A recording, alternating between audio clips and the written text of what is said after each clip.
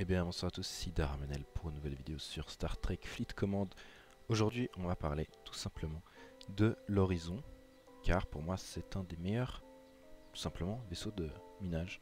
En comparaison au Fortunate, à l'Envoy, quand on va passer à l'Horizon, on aura vraiment un gros boost dans tout. Cargaison, vitesse de minage, euh, distorsion, etc. Donc on va voir pourquoi je le considère comme l'un des meilleurs vaisseaux euh, tout simplement confondus en termes de minage et même en comparaison avec certains vaisseaux. Pour moi, c'est le, saladin du minage, on va dire. Donc, on va voir pourquoi ça. Alors, comme j'ai dit, quand on passe du Fortunate à l'Envoy, il y a quand même un gros boost.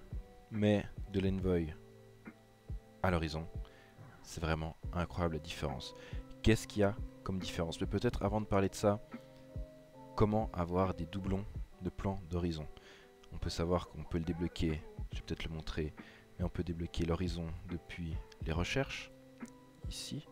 Dans, il me semble, c'est la station. Voilà, on peut débloquer le Fortunate ici, l'Envoy ici, et l'horizon ici, à partir du niveau 26. Et comment avoir des plans d'horizon? Parce qu'on peut voir que moi j'en ai plutôt pas mal, 417, alors qu'il m'en faut 40 pour en construire un.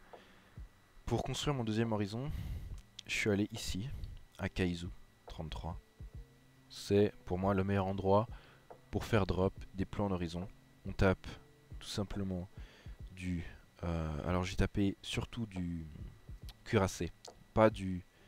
Euh, pas des mineurs. Du cuirassé, ça m'a fait drop des plans d'horizon. Ne me demandez pas pourquoi les mineurs ne font pas drop des plans d'horizon, j'en sais rien, alors que ce sont des mineurs. Mais les cuirassés font drop beaucoup plus de plans. Il faut savoir que voilà, deux horizons, c'est bien, pas besoin d'en avoir trois. Donc juste on va avoir son deuxième plan, après ça sert plus à rien d'en avoir. Enfin, ça sert plus à rien pour le moment, après on peut encore en avoir, on expliquera dans d'autres vidéos, etc. Alors, pourquoi est-ce que déjà c'est le meilleur mineur, tous confondus?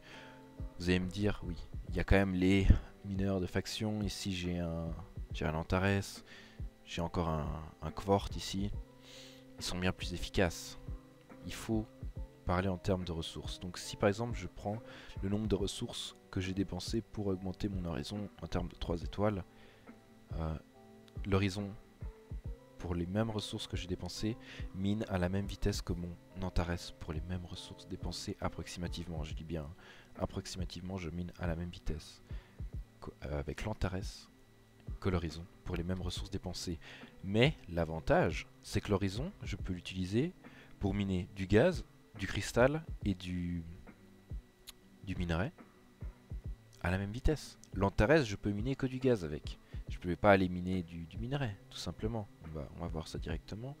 Si je vais ici, je mine du gaz à 12 285. Maintenant, je vais mettre mon horizon à la place de mon Antares. On se rappelle 12 285. On met l'horizon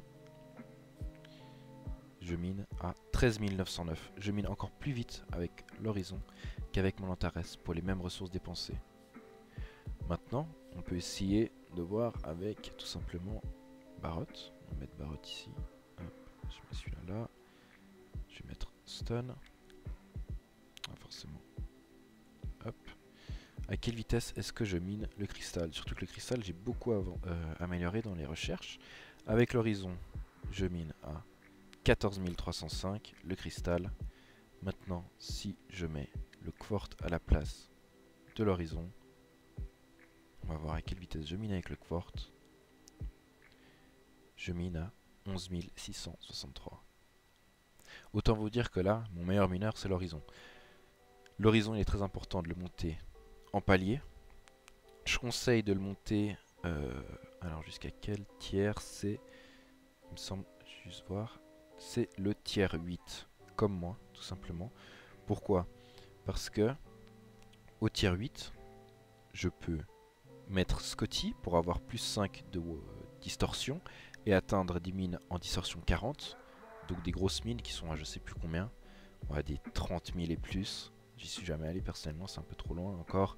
Et je préfère utiliser un autre officier de minage à la place de Scotty. Ou je peux économiser du cristal pour atteindre les 40 de distorsion. Tout simplement. Et à ce moment-là, je pourrais utiliser euh, que des officiers. J'aurais pas besoin d'utiliser Scotty en fait. Ça c'est un des points forts de Horizon, donc je conseille de le monter jusqu'au tier 8. Tier 8 pour utiliser Scotty ou augmenter le moteur à distorsion. Ensuite, pourquoi quand même certaines personnes pensent que l'horizon, voilà, il y a quand même des désavantages. Hein. Un horizon ne peut pas être un Antares, un Kvort ou un Valkis. Les avantages des vaisseaux de faction, c'est la cargaison protégée qui est augmentée. En fait, parle-t-on plutôt du principe que mon horizon, voilà, il arrive en fin de vie, entre guillemets. Il est tier 8. Je vais pouvoir le mettre, il me semble que ça, il s'arrête tier 9. On peut voir qu'il est quand même très efficace au tier 8. Hein. Il s'arrête tier 9. À la même vitesse, mon Antares est tier 4. Même vitesse de, de minage. C'est-à-dire que mon Antares, je vais pouvoir le mettre tier 8, 9. Et là, il est tier 4 et il mine à la même vitesse. Mais ça, c'est pour les mêmes ressources dépensées. Hein. Faut pas oublier. Donc, l'Antares, au final, quand il va être au maximum, il va pouvoir miner plus vite que mon horizon. Ça, c'est sûr. Hein. C'est logique. Mais que du gaz. Hein. Restons, restons clairs. Il va peut-être miner à 20 000, mon Antares, quand il sera au maximum. Clairement. Donc, l'horizon, il est très bien. Moi, ce que je conseille, c'est tout simplement d'avoir, si je dois te donner un schéma, tu commences avec deux envoys, un horizon. Cet horizon, tu le gardes et tu l'augmentes au maximum. Ensuite, tu vas construire ton deuxième horizon quand tu auras les plans et quand tu auras augmenté assez ton premier horizon. Et du coup, tu auras deux horizons et un envoy. Ensuite, deux horizons, un vaisseau de faction. Tu continues d'augmenter ton horizon principal et ton vaisseau de faction. Et ensuite, au final, tu finiras avec deux vaisseaux de faction et un horizon, comme moi. Et ton horizon qui sera là, c'est son horizon maxé. Et tu utiliseras, moi j'ai un deuxième horizon, qui est là, un peu plus faible, pour changer les mines. Quand je dois, quand je vais passer en cargo, euh, en protection de cargo dépassé. J'utilise parce qu'un horizon c'est plus efficace qu'un envoy. Et ton horizon, quand tu vas avoir l'horizon, il va te permettre plein de choses.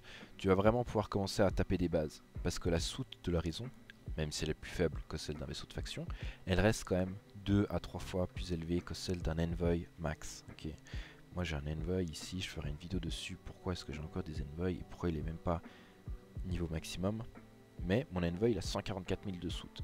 180 000 avec stun. Mon horizon avec stun, il est à 700 90 000 de soute. Forcément que si t'as encore l'envoy, ta soute sera pas autant élevée, mais elle sera peut-être vers les 300-400 000. La différence est assez énorme. Il va aussi te servir pour les événements. Il va te permettre d'aller beaucoup plus vite dans les événements, de minage notamment, et aussi pourra pas ceux de latinium. On peut toujours miner la nuit le latinium avec l'horizon, ça reste toujours assez intéressant.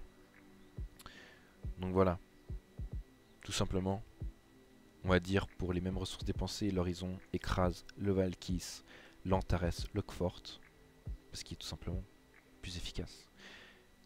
Seul désavantage, c'est que, voilà, il est tier 8, mon Antares est tier 4, mon Kfort est tier 3, et il mine quand même à la même vitesse. Donc on peut se rendre compte que quand je vais augmenter encore l'Antares, quand je vais augmenter encore le Kfort, mon horizon ne sera pas non plus dépassé, parce que j'ai pas le Valkis, mais il va arriver entre guillemets un peu en bout de vie, si on peut dire ça comme ça.